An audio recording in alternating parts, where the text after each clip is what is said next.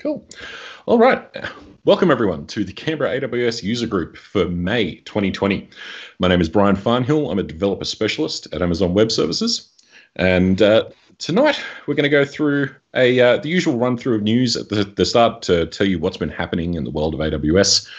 Um, we'll talk about some online training and some white paper updates that have been coming out. And then we'll get on to the main presentation, which is going to be Craig Lawton talking about uh, the, the edge to cloud continuum, the IoT being all about software. So, starting off with what's new in AWS this month, uh, we've had 148 features and updates uh, been released so far. Still a few days left in the month, so we'll uh, we'll see how that plays out over the next little bit. And uh, for those interested in tracking the chart, because we do that every month, that's what uh, that's what it looks like so far. So we're uh, we've been ramping up after we took a break from reInvent last year. My uh, my top ten that I wanted to talk to you about this month in terms of what's new and, and what's been coming out. Firstly, AWS Systems Manager now has an Explorer view that gives you a multi-account summary of your trusted advisor checks. Now, what this means is so Trusted Advisor has a number of different checks that validate your account against uh, some best practices around cost management, performance, security, and a bunch of different areas. Previously, aggregating that across many different AWS accounts required a, a custom solution of some sort to be able to bring it to one place. Now, Systems Manager has the ability to aggregate this data for you. The uh, the next one I wanted to talk about, as I realized I should have changed the view, um, is that Amazon Elasticsearch Ultra Warm is now generally available. So Ultra Warm was a storage tier for Elasticsearch that got announced at reInvent last year and has been in previews since then. Basically, we heard feedback from customers that said the the cost of Elasticsearch for long-term log retention was not necessarily feasible, but we still wanted to have the flexibility to search and, and work with that log data. So now with the ultra warm tier, you can keep the most recent logs in that hot storage tier and then pay less for your long-term log archival while still having the ability to use Elasticsearch. So this is a really great outcome and it's now generally available wherever Elasticsearch is running. It gets me every time when I swap the view, and I that was Craig. Cool. Um, I'm going to have a month without a tech glitch. One month, I swear. All right. Uh, the next one, Amazon Kendra, is generally available. So Kendra again was announced at reInvent last year, and this was uh, AWS's take on reinventing the enterprise search. So Kendra has the ability to index content from like your intranets and, and sort of corporate document sources and provide a natural language searchability over them so that you can ask intelligent questions like, how do I reset my network password? And Kendra can find the appropriate content from your documents and try to present the users with the answer that they're looking for, as opposed to just it's on this page somewhere or it's in this document somewhere. So it's been in preview for a little while now and uh, has gone generally available. Actually, there's a few things that have gone GA this month, so Kendra being the, the second one.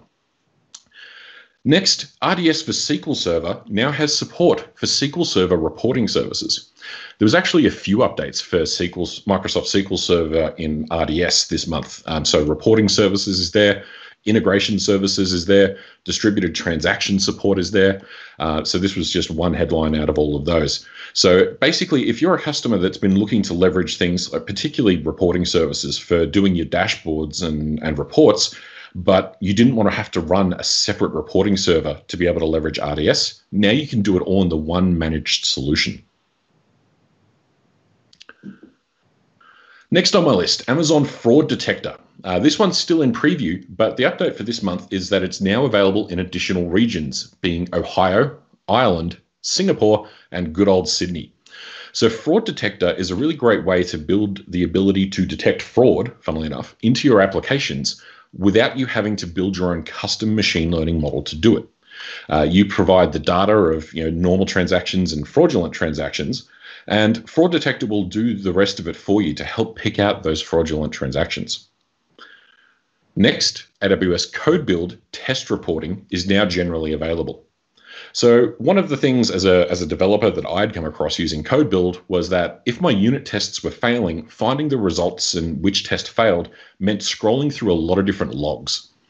Now, what we've got with the test reporting is the ability to upload JUnit format results. So it's just an XML file into code build and have it visualize those results for me. So it makes it really easy to see how long the tests ran for, which ones passed, and which ones failed. So this is a really great mechanism for developers who are running tests inside of code build. All right, next up, another systems manager update, um, multi-account view of AWS Compute Optimizer recommendations. So Compute Optimizer was recently put out and it allows you to see recommendations for not just making an instance bigger or smaller, but it recommends particular instance family changes. So you can really optimize what you're doing with EC2 and not overpay for anything that you're doing. So again, now with this new view, I can get a view of all of my EC2 compute optimizer recommendations across all of my AWS accounts in a single place. So this makes it really easy for me to focus on optimizing how my compute is working in the cloud. Next, AWS Step Functions now support code build service integration. So this means that I can directly call code build from a step function. So step functions, if you haven't seen it, is essentially a, uh, a state machine workflow. So I can define different steps and conditions and uh, build out a process, and I can now call code build as part of that. This means I can use step functions to create uh, more complex build and release flows that might have conditional logic based in them. Uh, you could previously do this by writing a custom Lambda function, but now you can skip that and have a native integration from step functions to code build. All right, the last two for this month. The uh, Amazon EC2 M6G instances are now generally available.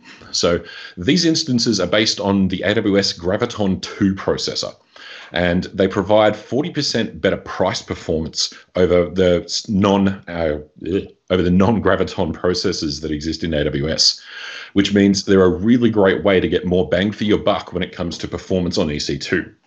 Now, worth noting, these ones aren't in the Sydney region yet. They are in a lot of different AWS regions.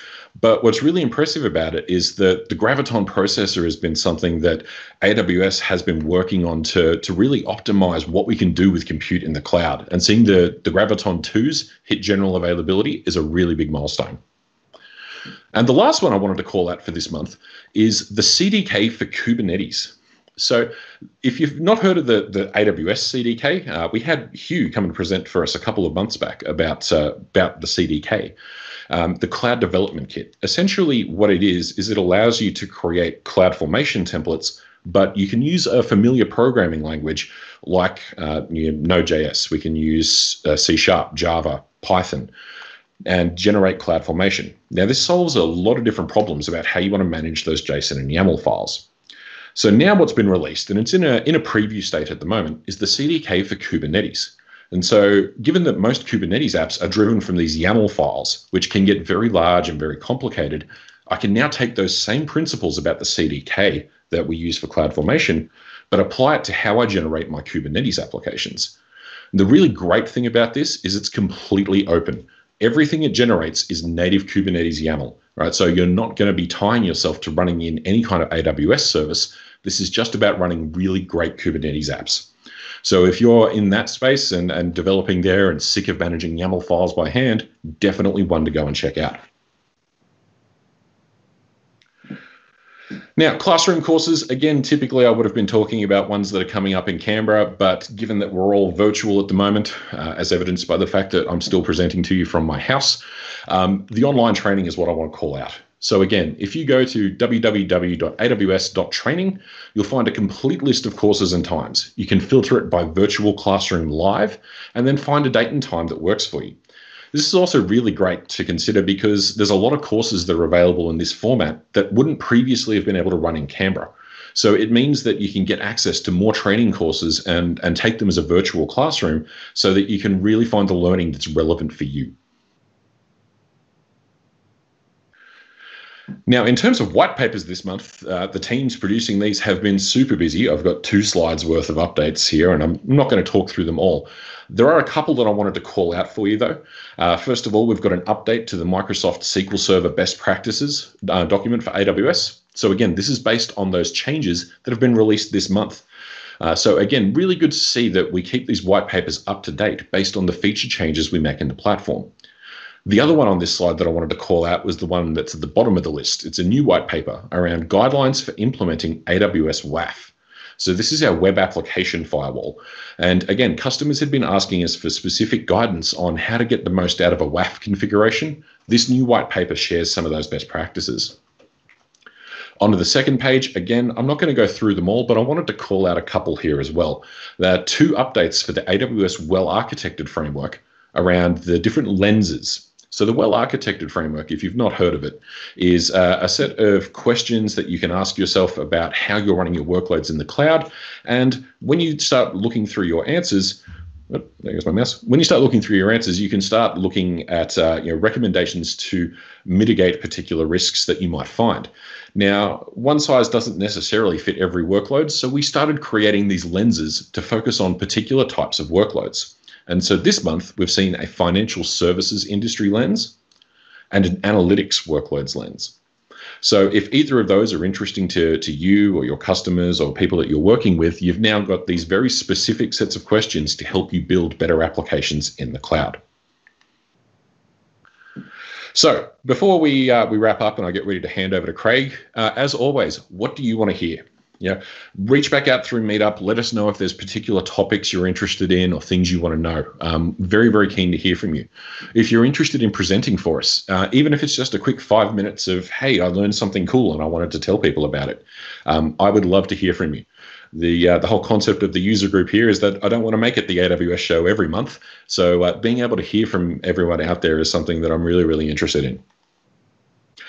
Also, please make sure you submit your feedback every month. If you RSVP'd through Meetup, you'll get a, an email notification or an in-app notification tomorrow saying, "Hey, let us know what you thought." Uh, we do look at it every month. Um, I did see the, the remarks that went in last month after the technical issues, so yeah, I'm definitely reading it. But um, but please, we we do take the feedback very seriously, and I use it to help make sure we bring you the content that you really want to see. And lastly, friends don't let friends miss the AWS user group word of mouth really is our best mechanism for letting people know about what we're doing, and especially now that we're virtual and people can connect from anywhere. So share it on your show, share it on your social networks, tell your friends, email it around, send it via carrier pigeon if that's what works for you. Um, but let everybody know that the AWS user group is online and still happening. So this is the point now where we're going to hand over to Craig to uh, to kick off the main presentation for the evening. Craig, are you there? Yes, I'm here. Can you hear me, Brian? That I can. And hopefully see my screen as well. Uh, yes, as I frantically click some buttons. Excellent. So, uh, Craig, why don't you introduce yourself and uh, and lead off into the main presentation for us? Thanks, Brian. And can I say it's really good to see that white paper on financial regulations in Argentina has been updated. I've been I, hanging for that one. I knew you were waiting for it, buddy. uh, so thanks uh, to Brian for inviting me along tonight. I wish I was there in Canberra because it really is uh, always great to visit our nation's capital, but have to wait a few more months, I think. Um, I'm a, an IoT specialist architect. I've been working at Amazon for five years, and uh, today I'm going to talk to you about IoT and software. Because when we think of IoT, we think of connected devices and we think of um, hardware. But uh, increasingly, software is uh, very important in this space and will, in, in, will continue to be very important in this space. So, when we look at IoT, we ask the question if you knew the state of everything and could reason on top of that data, what problems would you solve? Um, and increasingly, when I speak to customers, we have this um, to or fro and this uh, between uh, the data and IoT. So, uh, very often, a colleague of mine will go in and he will uh, talk about data lakes and analytics and how you can make insights in your data. And then they'll go, What about all those other things out there that are connected in my world? How can I get access to that data? And other times, I'll go in there and I'll tell them about IoT sensors and networks and those type of things. And then um, I will uh, that will lead to a question about, oh, okay, once I get all that data into the cloud, how can I get insights into it? So data is very important when we're talking about IoT. It's worth thinking about the benefits of the cloud because one of the things that uh, our customers tell us they love is that the customer allows them to respond quickly to their circumstances. Uh, we need to respond very quickly at the moment to change circumstances uh, due to COVID nineteen, for example. But you know, you would need, need to be able to respond quickly to changes in market, changes in your customer requirements, and also at the same time optimize your costs, maintain security, and um, minimize or at least manage complexity. And these benefits of cloud, we really want to extend them to IoT. So how do we do that? And when we look at our IoT services, we uh, categorize them into three categories. We uh, have device software, which is the topic of today, our connectivity and control services, which are uh, for ingesting data um, from tens to thousands to millions of devices, and then routing that data through to other services. You could route them to IoT analytics services, where you can start to do asset modeling, uh, build SaaS solutions, um, and also uh, do analytics and feed insights into things like QuickSight. Now, we look at the IoT uh, software um, services that are available, just quickly to go through them. If we start with the connectivity and control services at the bottom left, IoT Core is our foundational service, which was launched in 2015 now, which uh, is uh, each AWS account gets an ingestion point that you can send the data to, and all devices are uniquely identified um, and then given privileges to, to send the data through to what is essentially a pub sub broker. You can then uh, create rules which route the data, data to backend services like S3 and DynamoDB and those ones we know and love, or to analytics services uh, like IoT Analytics, Events, and Things Graph. Just uh, before I get too far away from connectivity and control services, device management and device defender are very important uh, for managing deployments of thousands and millions of devices and also securing it.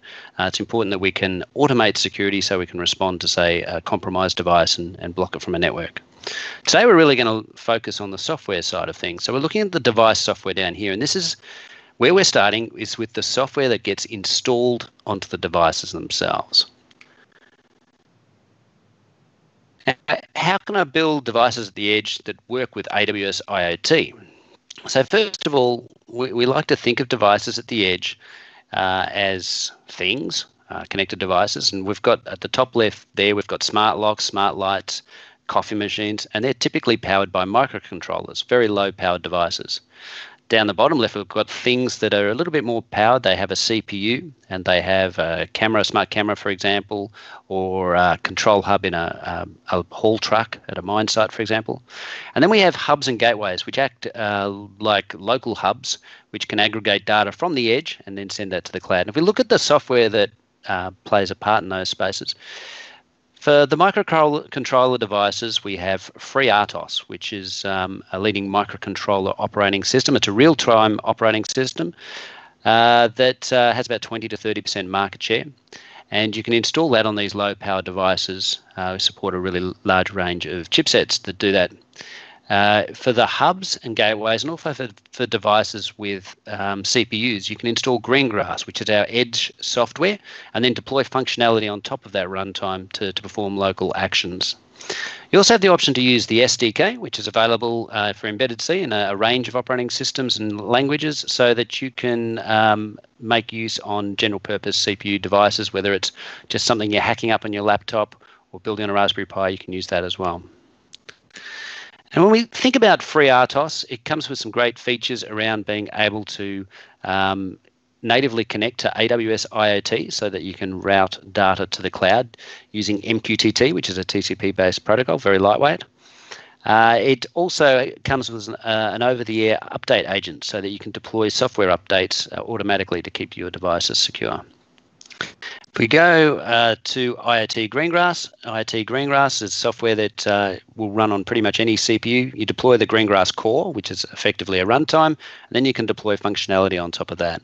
And IoT Greengrass, the underlying runtime or IoT Greengrass core has its own over-the-air update as well, so you can keep it nice and secure.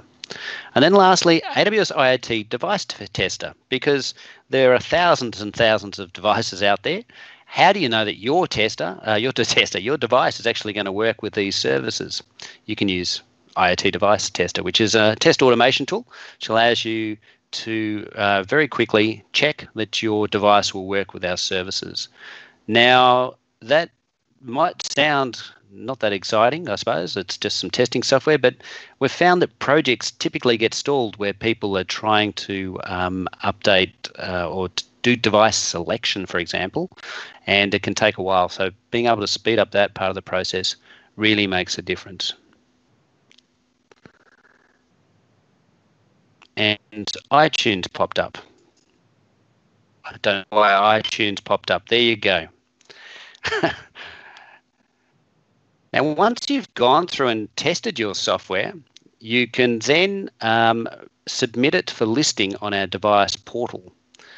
And so once it's submitted, it'll appear in our AWS device catalog. If you go to devices.amazonaws.com, you can see which devices have been through this process and been filtered, and you can select them very quickly. So if you don't have your own device, and you don't want to test your own device, but uh, you just want to get one that's been used before, that's a great way of getting to that. And there's, there's literally hundreds of devices, cameras, gateways uh, that are available there. Now, Greengrass is uh, edge software, but it can run on anything with a CPU. And it's important to understand that Greengrass is software, so it'll run on pretty much anything with a CPU, and there are different versions for different binaries. But once you've installed Greengrass, you can register it with your AWS IoT account, and then you can deploy functionality from the cloud down to the edge. And that's great if you want to run low latency applications, you want to process data at the edge so you don't have to send it all to the cloud, which can be quite expensive, or you have privacy or compliance concerns as well.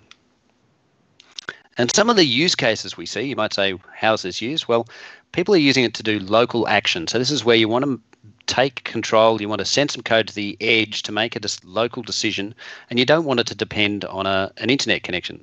Greengrass needs to be connected to the internet for deployment and updates, but then after that, it uh, will keep running disconnected, which is an important part of its design.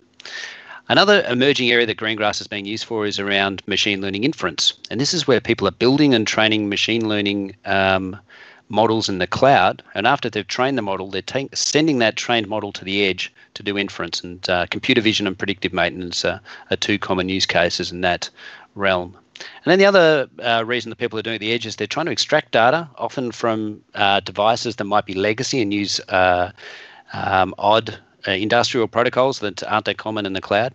And you might want to then do that protocol conversion and then do some aggregation and, and then send that data through to the cloud. And Greengrass has these foundational components. It effectively allows you to create an isolated uh, local IoT environment with Greengrass acting like the hub for all the messages from your devices at the edge. And you can take local actions. You can see the Lambda sign there. So that's Lambda code you've written in the cloud and deployed to the edge. And you can also do a, whole range of other IoT use cases at the edge. I wanted to focus on a couple of the enhanced capabilities today because it's not a Greengrass talk and uh, it's really focusing on the software. But uh, when we're talking about machine learning uh, inference, what allows you to do is to train models uh, in SageMaker, which is uh, our um, machine learning service to put uh, machine learning into the hands of all developers. Once you've trained that model, you can then add it to a Greengrass group and do a deployment, and then it'll deploy it to run down at the edge. You can also use SageMaker Neo, which can reduce the, the size of the, the runtime for the model so that it can run on constrained devices. And the reach of ML is really growing. And if you look around at these use cases, you see that a lot of them happen in the IoT or the, the, the physical world. You've got automotive, you've got oil and gas, you've got manufacturing, robotics, uh, retail uh, even healthcare, all have physical components. So if we can train these machine learning models and have them run locally, there's a lot of value to be had.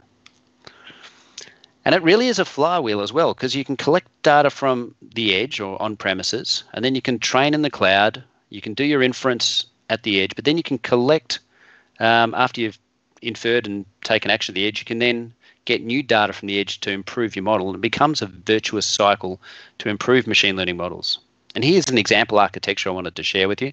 This is a computer vision use case. So this is where somebody has built and trained maybe an image classification or an object detection model in the cloud. Uh, you can see SageMaker there. I'll test out my new pointy tool. There you go, SageMaker. And then I'll see if I can get the, there we go, SageMaker. And then you've trained the model, you've deployed that out to Greengrass, that's copied the model down to the edge. You've got a local Lambda function which is um, executing that model on a, a maybe a, a, timer. But in this case, what it's doing is it's I've, I've um, jumped the shark with my new pointer tool. So the way this works is you have an IoT topic that will send a message down to Greengrass it'll execute the Lambda function. When the message comes through, it'll run the Lambda function and do the computer vision inference at the edge. And then it'll just send back to the cloud the, the JSON uh, payload saying what was extracted from the image. And as you can see, the Lambda functions can also upload samples to a data lake, and you can do that so that you can improve the model over time. Another thing that's been added to Greengrass reasonably recently is this uh, container support. So you can now take Docker containers that have been uh, created anywhere and deploy them to run on edge devices. So if you had a Raspberry Pi and you wanted to install Greengrass, and then you had it registered with your cloud account, you could send uh, containers to, to run down on that device. And so you might have an existing application.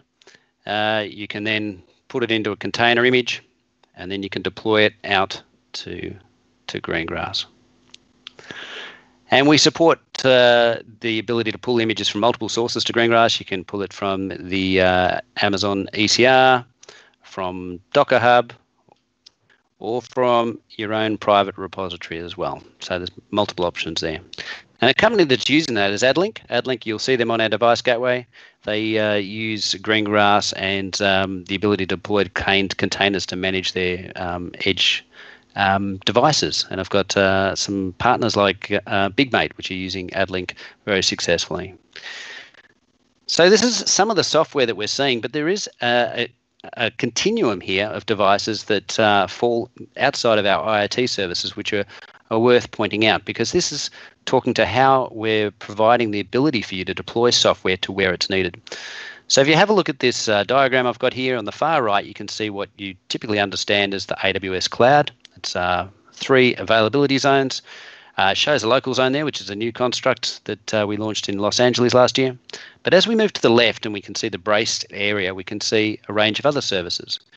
So if you uh, look at outposts, that's where we provide hardware um, that we use in our data centers to allow you to deploy generalized workloads to your environment. We will ship these uh, racks of our gear to your data center, and then you can manage them from the cloud.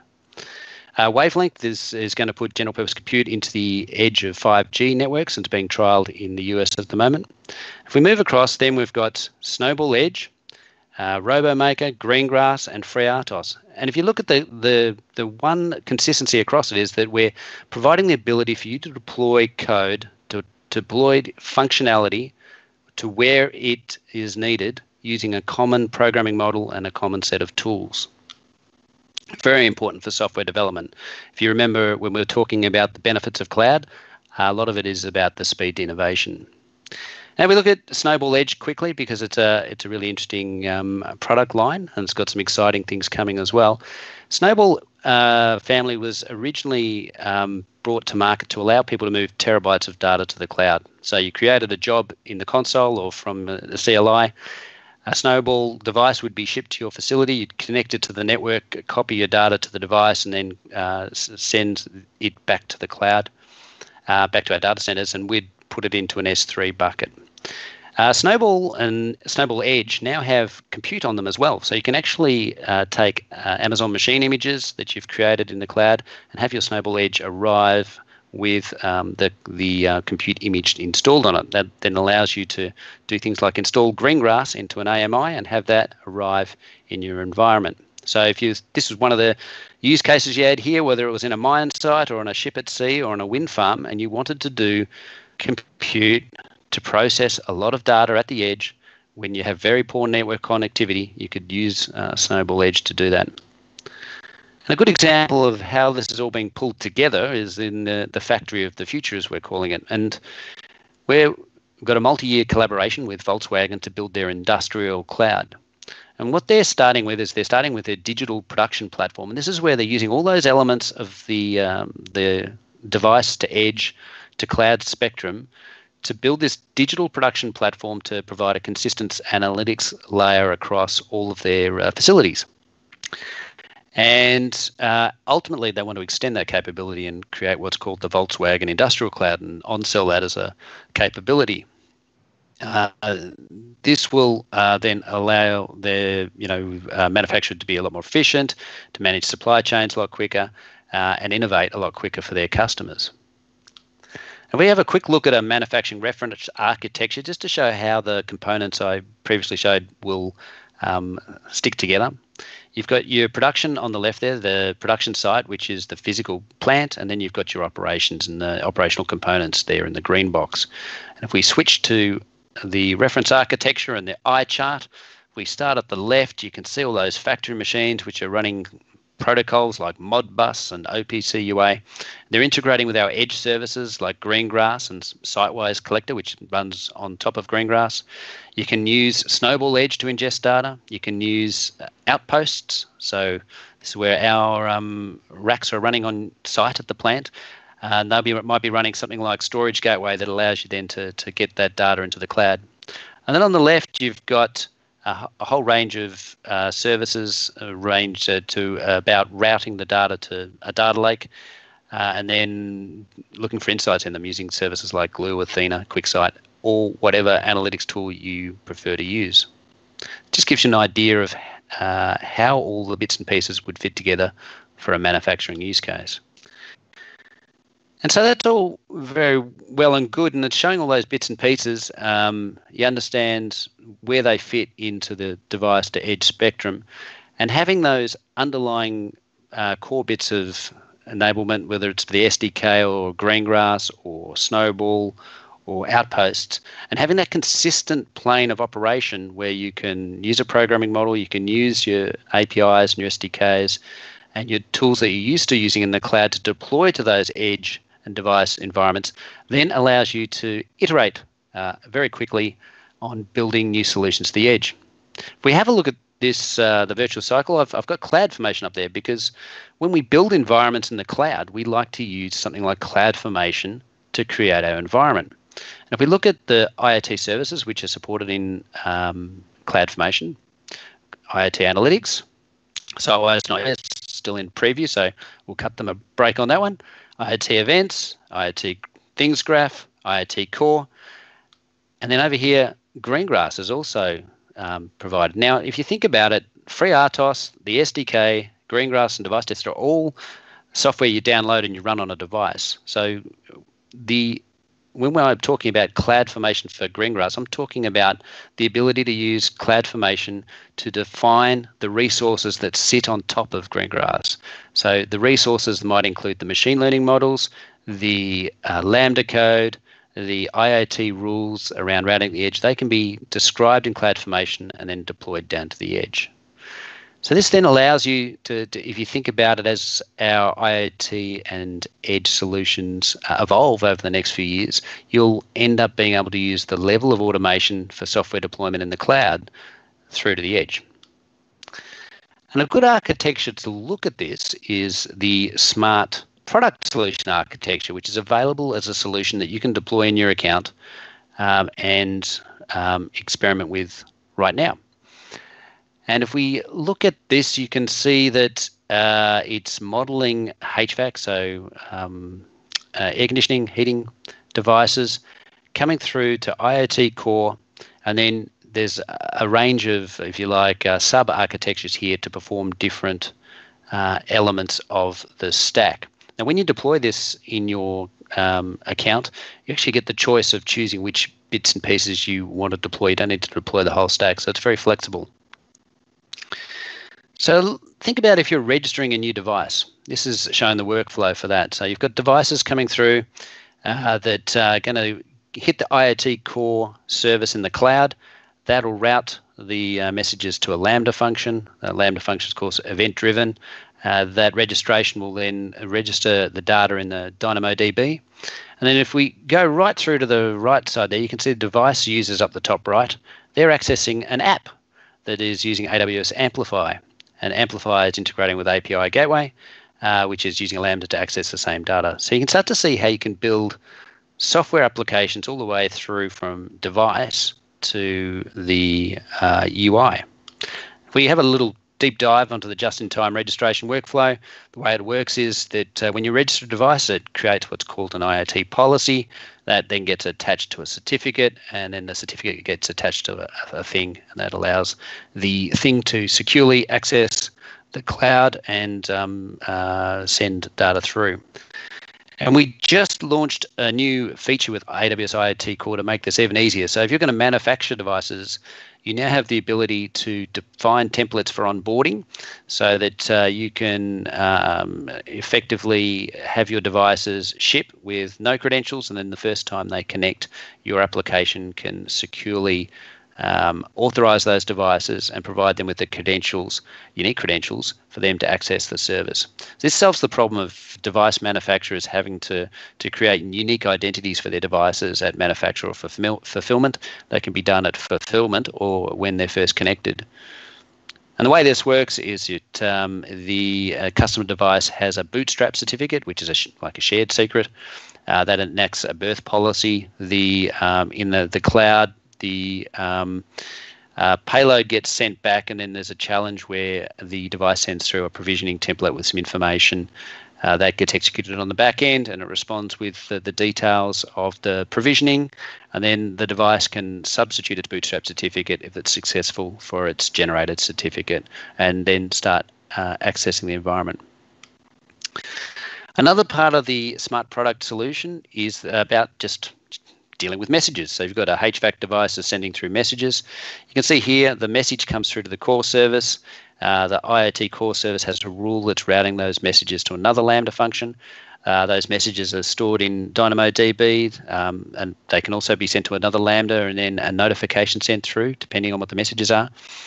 Um, and then you can also, as you can see, you can the device users from the right there are able to access the app or the UI or web console in this case uh, that is querying the same database using Amplify, API Gateway, etc. You can see this in the workflow here. The device message is coming through. The rule is sending it through to different DynamoDB tables and can also send through uh, an SMS. And you also have the option if there's a, a, heavy workload that has to send large amounts of data, you could use SQS or Kinesis. Uh, now, telemetry uh, analytics this is uh, very important for iot solutions. So this is where you want to see you know the volume of messages coming through. It's really helpful for understanding the the uh, how well your environment is is running. Um, so if you see a, a change in what uh, um, your message pattern it can indicate uh, uh, say a network issue or a problem downstream the way this works is that devices are sending through messages to the the cloud. There's a rule uh, in the IoT core service that is taking all that telemetry data, and it's sending into the IoT analytics service. Analytics has these functions of channel, pipeline, data store, and data set. Um, which is really uh, for another topic, um, another session perhaps. Telemetry Lambda function is working on the, the pipeline there, and you can enrich the data. And the good thing about IoT analytics is once you've processed the data in there, it's accessible from SageMaker and also from QuickSight. So you can very quickly start to build charts using QuickSight on IoT data. And then secondly, you can start to very quickly use SageMaker to start building, say, predictive maintenance um, models uh, without having to deploy that much in the way of cloud infrastructure. And then the final workflow here is to show how you can send commands out to a device. So you've got your users, we'll start on the right this time. They've accessed their application, uh, they've authenticated with Cognito. They can then send uh, the uh, command into the DynamoDB table.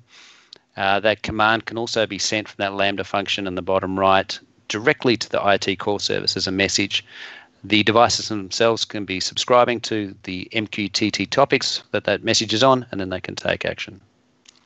And so you can see that the, the flow there around some of the, um, the, the different workflows. So you can see that um, the device, uh, the sorry, the user on the far right is executing a command. The command service Lambda function has published a command to the device gateway. That has then sent the, the message out to the device. You can also see that um, the uh, on the bottom flow there that you can have uh, messages come through uh, from devices and then have them stored in the command table as well. And lastly, uh, but very importantly, uh, is around security in this architecture. So you can route all your messages to AWS IoT Device Defender. One of the things that we coach to people in the cloud is that uh, automation is really key to your security response these days. You need to be able to automate responses because the attackers in the cloud um, will uh, start and end an attack very quickly, and so you can't really rest on manual interventions. And it's true with IoT use cases as well. There was a famous uh, IoT uh, DDoS attack. I think it was the Mirai malware virus, where a bunch of webcams and baby monitors were compromised a few years ago, and they had a uh, because there was a I think a shared password and they uh, had a coordinated attack on a large part of the world's DNS infrastructure and took down a, a big slab of the internet. So the core service uh, here will send the messages through to Device Defender. And you can have rules in Device Defender that are looking for anomalies in configuration and anomalies in traffic patterns, and it can uh, alert or mitigate or take action on those devices because uh, Device Defender integrates very well with the device management service that allows you to do things like disconnect a device, uh, reboot a device, or, or do, do some kind of other action. Device management's not shown on the here as well. It's uh, device management, device defender are really uh, they um, sort of show up under the IoT core service. Device management allows you to do uh, actions across uh, large fleets of uh, devices. So you can do bulk registrations, you can do indexing of devices by attributes and group types. You can do dynamic queries and then take action on dynamic queries. And you can also send jobs out to devices. So if you wanted to do an over the air update of software on a device and it wasn't um, um, a, or change configuration, you can uh, issue a job from the IoT device management service. Uh, it's important to understand that the core service, the device defender, and device management service all work really well together to allow that level of automation. Now, the, the secret uh, thing I really love about the smart product solution I saved to, to the end that if you deploy this solution, it's actually deployed with its own CI/CD pipeline. So this is now where you're starting to see CI/CD pipelines applied to IoT use cases. So if you uh, deploy the, um, the the solution from the website, and I've got the, the link at the edge, you at the end, you'll you'll see that uh, it'll create a CodeCommit repository, and it'll store in there the code around um, first of all doing some unit tests on the CDK um, manifest and um, software that comes with it and then it creates the um, it does the CDK deploy to create the CloudFormation uh, artifacts, which are then used to build the environment. And in this way, you're building an IoT solution that uh, can be changed and managed in uh, the similar manner to CI/CD pipelines. So as we see with the different components of our device to edge to cloud spectrum of things like FreeRTOS, IoT Greengrass, Snowball Edge, Outposts, all the way through to the cloud. As you said, that underlying platform consistency and how it can be applied to program models. It'll allow you to use the same development methods that you're used to using in cloud only solutions to deploy IoT solutions. So this is very exciting because it'll allow you to uh, iterate on IoT solutions a lot quicker and deliver new features and new constructs. Added to this, and I don't have a slide to, to talk about this, um, but uh, we're increasingly seeing IoT solutions deployed in the AWS marketplace. So not only can you buy code functionality in the AWS marketplaces, you can buy uh, solutions that IoT vendors have put into the, the marketplace and that uh, the delivery and fulfillment of the actual physical devices is managed as part of the AWS marketplace workflow. But then the software can be managed consistently um, through for, for those providers. So those partners that are building these IoT solutions and getting them in the marketplace have a large, um, well, they, they have a very frictionless way of getting their solutions to market and a global marketplace. So it's exciting times for IoT uh, businesses. And so some of the summaries of the best practices here is uh, serverless architecture. We haven't seen an EC2 instance in any of this. So it allows you to build with these constructs. That allows you to start with an architecture and just have it scale. One of the great things about our IoT services is you just pay for what you use. There's no pre-provisioning required of um, you know or guessing how much you're going to use. So you can deploy that, uh, and as it evolves or as it scales, we manage the scaling for you. Uh, device registration is key. So this is how you get a device that has um, uh, been delivered, uh, been arrived on a, a uh, at its location. How do you uh, make sure that it has its unique credentials so that it can be secured individually to the cloud? Um, and then thinking about how you uh, analyze the data, so how you can use not just the IoT analytics services, but many of our customers find that they love to use you know, just S3, um, Athena, Glue, uh, everything through to Aurora and um, um, their, their, preferred tools, whether it's uh, QuickSight, Power BI, Tableau, for example. And then importantly, across the, the realm here, as you're using serverless architecture, there's, um, there's uh, the services that we manage and secure up to the level of configuration for you. Uh, it's important to understand and manage your security. And recently, um, uh, as part of our IRAP uplift to protected, our IoT core service was actually um, ratified for protected workloads in Sydney as well. So as we run through to the end here, if you'd like to have a look at that solution, deploy it, uh, and have a look at how the constructs work and how CDK and CloudFormation work to deploy a solution for IoT, uh, have a look at that solution there. Also, uh, just recapping on what Brian said, is that the uh, training website is really great. And there's a bunch of free IoT training up there. Just go to their site, search for IoT, um, and a lot of it will get you started really quickly if you want to write up a Python script or something like that and have it integrate with um, the, the cloud and see how the, the, the IoT services work. So, thank you for listening today. I hope it has been glitch free, apart from my iTunes inexplicably popping up. Um, but it's been a pleasure to talk to my laptop and to all of you up there in Canberra, and uh, look forward to seeing you uh, very soon. Excellent. Thank you very much, Craig. Um, it's yeah, hopefully that was a, an interesting session for everyone this evening. Um, again, the recording here will be on Twitch for anyone who wants to come back and, and look at it later, or you can share the links around with your friends. Uh, again, word of mouth is our, our best thing ever. Um, and remember, submit your feedback through Meetup. So, uh, you know, again, getting those reminders out there. Um, we'll be back again next month. Um, we've got uh, what I believe will be a customer presentation lined up next month. So we'll uh, we'll send the details out on that one through Meetup as soon as it's available. And uh, if anyone's got any other questions for Craig, uh, we'll just drop them in the chat room. We'll keep an eye on the chat room for the next little bit. But uh, but otherwise, thank you so much for coming and spending your evening with us, everyone. Thank you, Craig, for presenting. And we will see you all again next month, everyone. Thank you.